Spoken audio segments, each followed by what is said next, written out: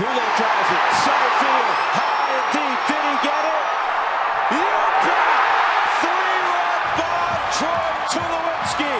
Here come the Rockies.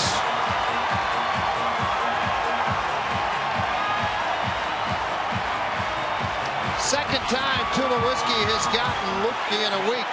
Hit one out on him, a two-run shot to dead center field in San Diego.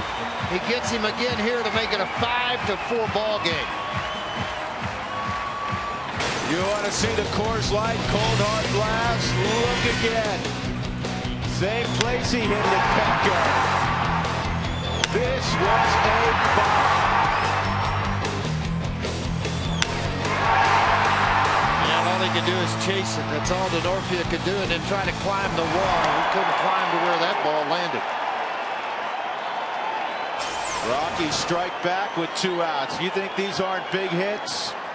You don't think it's